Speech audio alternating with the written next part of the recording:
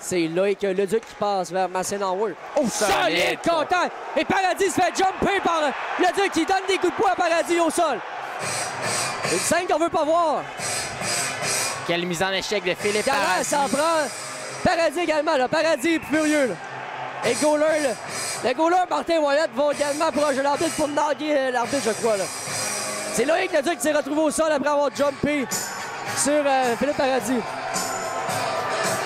Et là, le Duc qui semble en furie. C'est une, mise en échec légale. Quelle mise en échec, ouais. C'était la, la rondelle était disponible, donc euh, très belle mise en échec, corps à corps du Oh, Paradis. le Duc est dans l'air est prêt à répondre. L'arbitre veut rien savoir.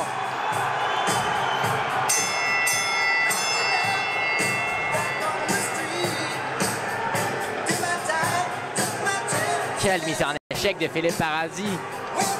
Oui. C'était Dans l'air veut être Ça a réveillé la foule. Dallaire qui sera mis, sera expulsé du match, ou bien jugera à la fin de la période. Possiblement juste la fin de la période. là. Ça se pourrait très bien. Et le Duc semble aller au banc des punitions, donc il pourrait y avoir avantage numérique pour les marquis. Ben, dans l'air est parti également. Les gens mentionnent Ouais. Chris Cloutier. Ouais, Cloutier, c'est Jonquière. Ça pourrait faire brasser. Et Chris Cloutier. il fait une demande. Ah ouais, la foule, faites du bruit. Le paradis qui sera chassé aussi. Ouais, ça, c'est compréhensible. On a répliqué après le contact. C'est assez euh, des deux côtés, des pénalités. euh. Comme on peut le voir, c'est la séquence.